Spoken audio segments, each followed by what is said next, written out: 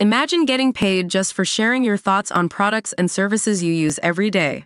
With Survey Junkie, it's that simple. Click on the link in the video description to discover how you can start earning today by taking surveys. Peter Costello has stepped down as chairman of Nine Entertainment Company days after he allegedly bumped into a journalist at an airport who then fell on the ground.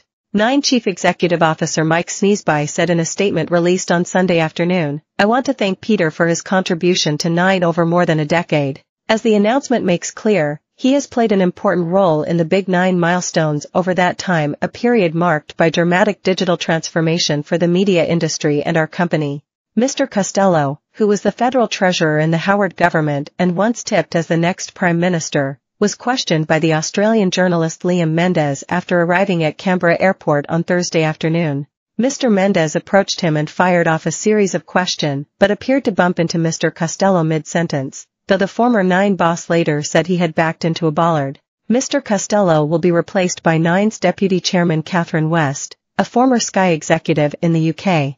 In the airport altercation Mr. Costello, 66, ignored a series of questions from Mr. Mendes about a $1 million payout made to the channel's former news boss Darren Wick, who faces allegations of sexual harassment. Mr. Mendes introduced himself to Mr. Costello and questioned why the Nine boss hadn't shown his support for the network's chief executive officer, Mike Sneesby. Mr. Sneesby has come under fire following reports he approved the large payout to Mr. Wick. Just a minute after Mr. Mendes began firing off questions, he lost his balance and fell over. GoPro footage appeared to show Mr. Costello walk into Mr. Mendes, knocking him to the ground. A flustered Mr. Mendes picked himself up and followed Mr. Costello into the airport car park. Mr. Costello, you can't do that, you can't do that, it's all captured on camera, Mr. Mendes said. Is that behavior really appropriate to a journalist who's working? Mr. Mendes asked. On Thursday evening outside Parliament House, Mr. Costello denied he had knocked over the journalist. There is no assault, Mr. Costello said. I did not lay a finger or a fist or anything else on him. Mr. Costello said Mr. Mendes was walking backwards while filming and tripped over an advertising placard. I have seen it happen a million times. Reporters back into the bollards and fall over, he said. I did not strike him. Mr. Costello also denied that viewers of the footage would describe him as being aggressive. Before Mr. Costello appeared to push Mr. Mendes over, he had asked the Nine chairmen, do you support Mr. Sneesby as CEO and his handling of the Darren Wick saga? Mr. Wick, the former head of Nine News, was the subject of serious misconduct accusations shortly prior to his resignation from the company in March. It's understood both Mr. Costello and Mr. Sneesby were aware of the allegations at the time of Mr. Wick's resignation. Mr. Sneesby has since faced criticism for approving Mr. Wick's $1 million financial settlement, which included a payout and leave entitlements. It's understood Mr. Costello was unaware of the payout until after Mr. Sneesby approved it and has not since publicly supported the CEO.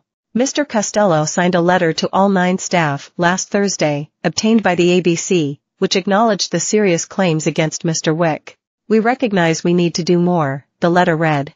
All nine staff will be required to complete refreshed sexual harassment prevention training by June 30th. It's understood Mr. Costello was in Canberra on Thursday for the opening of Nine's new office in Parliament House. After nearly 11 years on the board of Nine Entertainment Company, NEC, and more than eight years as chair, I had flagged retiring from the board some time after the July Olympics and by the AGM in November at latest. Last year, the company retained a search firm to identify new directors. The work is well advanced. I have today informed the board of NEC that I will pull forward that timing, stand down as chair and resign as a director.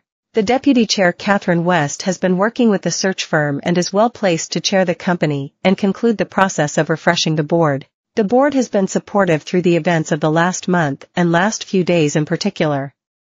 But going forward I think they need a new chair to unite them around a fresh vision, a